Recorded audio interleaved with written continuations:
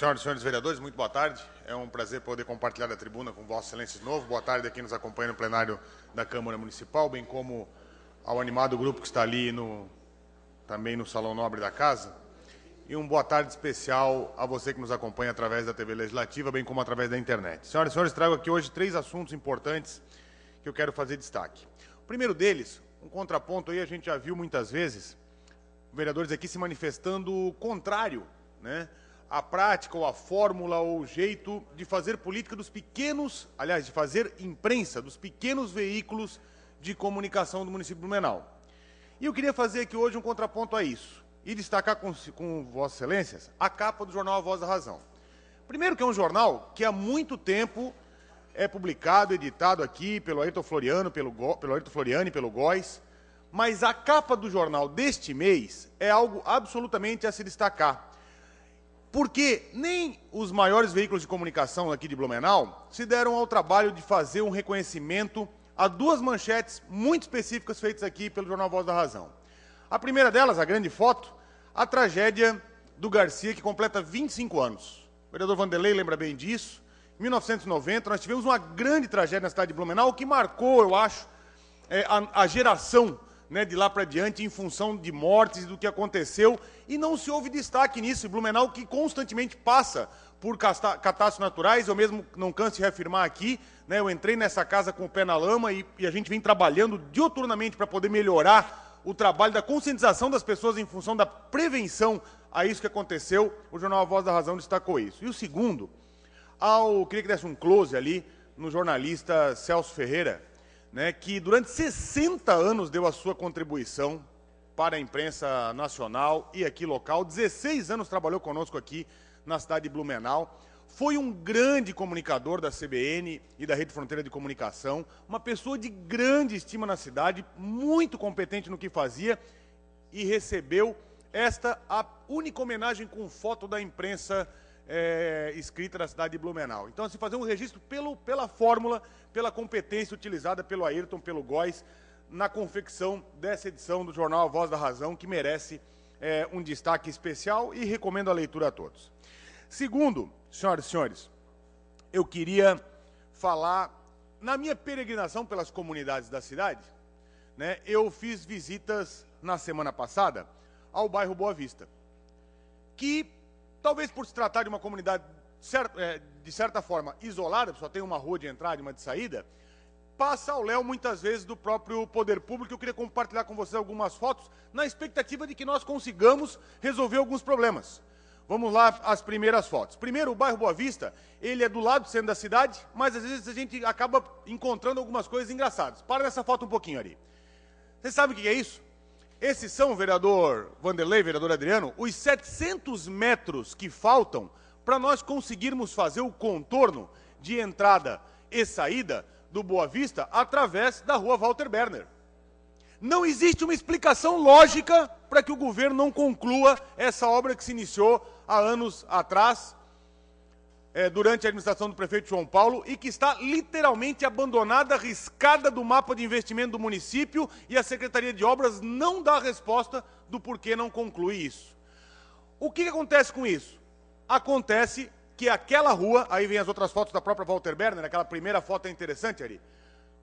Olha só, esse é o resultado e a população, sabendo que ali está literalmente abandonado, acaba depositando lixo, acaba é, soltando animais é, abandonados e assim por diante. Esse é o reflexo de um dos problemas que a gente tem que ver em relação ao bairro Boa Vista. Olha, isso é na margem do rio, na Walter Berner, na Rua da Pedreira, comumente chamado.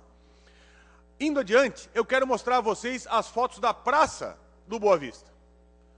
Poxa, quantas e quantas academias ao ar livre estão sendo inauguradas na cidade? Esse é o estado da praça do Boa Vista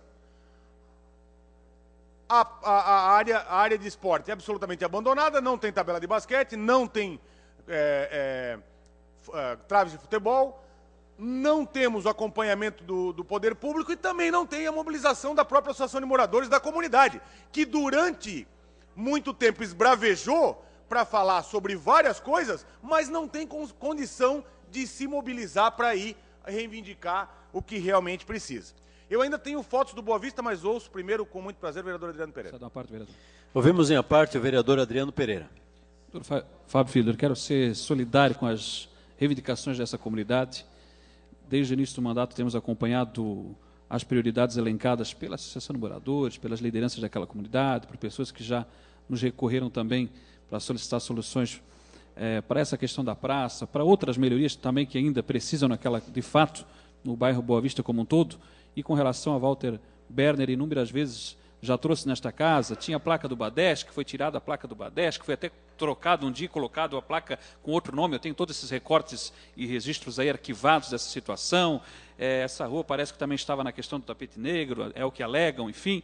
Mas, enfim, o que de fato é importante é que seja concluída essa obra, ou seja, entregue essa obra e pavimentado de uma vez por todas a rua Walter Berner, bem como é, se solucionar o problema num, num, bairro com a situação da praça, da forma que Vossa Excelência ali bem mostrou com as imagens, fica difícil realmente a comunidade ter uma opção de lazer, de esporte, de, de, de realmente poder ali ter um local é, é, prazeroso para se reunir com a sua família, com seus filhos, enfim. É lamentável esses retratos trazidos dos bairros da nossa cidade, que a gente traz de outros também, na tarde de hoje do bairro Boa Vista, com muito bem pontuado por Vossa Excelência. Obrigado. Obrigado, vereador Adriano. Ouço com prazer vereador Célio Dias. Uh, ouvimos em a parte do vereador Célio Dias e logo após a, a parte do vereador Célio Dias, vereador Fábio, Vossa Excelência tem 2 minutos e 30 para sua conclusão. Vereador Fábio, é, eu sou testemunha que Vossa Excelência é um defensor daquela comunidade do Boa Vista, né? Vossa Excelência sempre está presente ali, mesmo ausente desse parlamento, Vossa Excelência é, estava cobrando e reivindicando melhorias para aquela comunidade. A situação da Walter Berner é uma vergonha, né?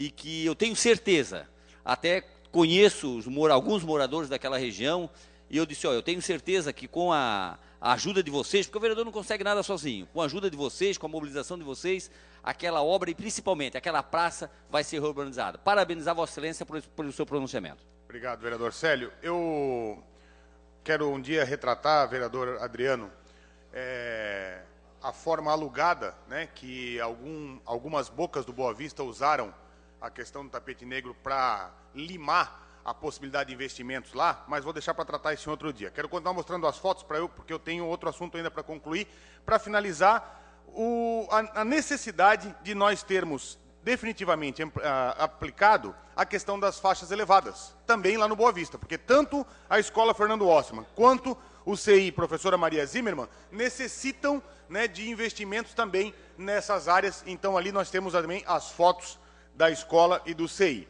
Bem, agora, deixando esse assunto para uma oportunidade propícia, eu queria ainda dividir a tribuna de hoje, o tempo que me resta, para tratar sobre um assunto especial, que é o Oktoberfest.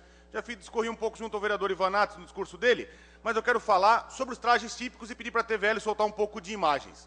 Vocês viram, e quem foi à festa pôde observar, o secretário Ricardo vai me passar com precisão os dados das catracas é, que acessam os trajes típicos, que as pessoas de traje típico acessam durante a festa.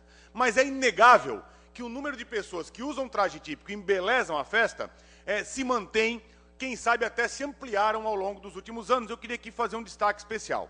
O primeiro, que eu relutei muito que nós, infelizmente, não tivemos força política o suficiente, mas que nós é, não derrubássemos a lei que dava gratuidade às pessoas que iam à festa com traje típico porque eu tinha receio de que isso ia evoluir.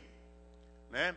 E acho que esses números que eu vou receber vão comprovar se evoluiu ou se evoluiu isso. Agora, que é inegável que a lei, vereador Beto, que foi aplicada ao longo dos últimos anos, durante o mandato do prefeito João Paulo, que deu gratuidade a quem usou o traje típico, que aperfeiçoou o uso do traje típico, que pediu para que as pessoas usassem o traje típico de forma adequada, né, teve o seu valor. Porque mesmo agora, cobrando a meia entrada de quem usa, as pessoas que gostam, que valorizam a cultura, através da vestimenta, porque existem várias formas de se valorizar. Mas quem gosta e quem usa e quem valoriza através da cultura, da vestimenta do traje típico, continuam usando. Então quero parabenizar os blumenauenses que, da sua forma, né, contribuem para o engrandecimento, a valorização e a, o aumento da qualidade da Oktoberfest de Blumenau. Senhoras e senhores, para finalizar, vereador vereador Ivanates, eu acho que nós devemos mais uma vez né, fazer uso do espaço do parlamento da casa para poder fazer a discussão sobre o desfile do Oktoberfest. Né? Eu acho que tem muitas coisas que precisam ser valorizadas, eu, eu assino embaixo né, da, de todo o encantamento que o Planeta Péia, eu desfilei muitos anos no Planeta Péia, o encantamento que eles trazem para a Rua 15 e do benefício que o Nerino, as suas ideias e os seus sonhos foram realizados através disso e acho que eles devem sim receber incentivo do poder público, assim como todos aqueles que têm o mesmo sonho que o Nerino Furlan é, em poder trazer para a Rua 15 um pouco da nossa cultura, da nossa história, dos sonhos da gente de Blumenau. E acho que esse parlamento pode fazer uma discussão adequada em relação a esse assunto, sim, e quero contar com o apoio e a colaboração dos senhores para que nós possamos, através da associação, vereador Mário, perdão, através da associação dos grupos que desfilam no Oktoberfest, através do Planeta Pé e de todos aqueles que se colocam à disposição para construir isso, façam isso no espaço democrático que é a Câmara Municipal. Obrigado.